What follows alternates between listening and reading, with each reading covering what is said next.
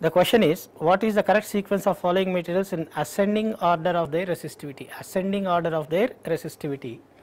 Now for metals we have we know that silver is the best conductor with lowest resistivity of 1.47 into 10 to the power minus 8 ohm meter. Okay, next best conductor is silver with 1 point, next best conductor is copper with 1 point what we call 71 into 10 to the power minus 8, next best is gold, next best is aluminum. So in the given options he has given iron, silver, constantan, mica and aluminum. As we know silver is the best conductor with lowest resistivity.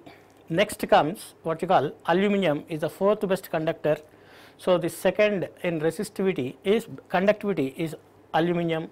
Third is iron with around 8.8 into 10 to the power minus 8 ohm meters right. Iron is in the third as far as conductivity is concerned.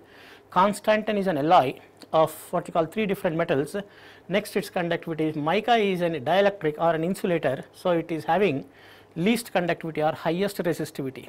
So, he is asking in the ascending order of their resistivity right select the best option. Now, look here. First one is silver. Okay right? That is 2 2 silver is first one with lowest resistivity. Next comes aluminum with the next higher resistivity. That is aluminum is given 5 serial serial number here.